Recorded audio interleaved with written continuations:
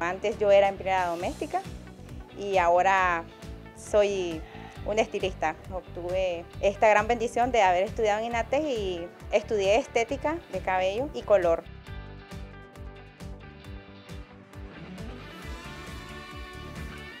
Ahorita ella está realizándome una hidratación capilar, cosa que es común que yo venga a buscar hacia donde ella porque me encanta la técnica que ella utiliza y porque en realidad ella es la estilista de toda la familia.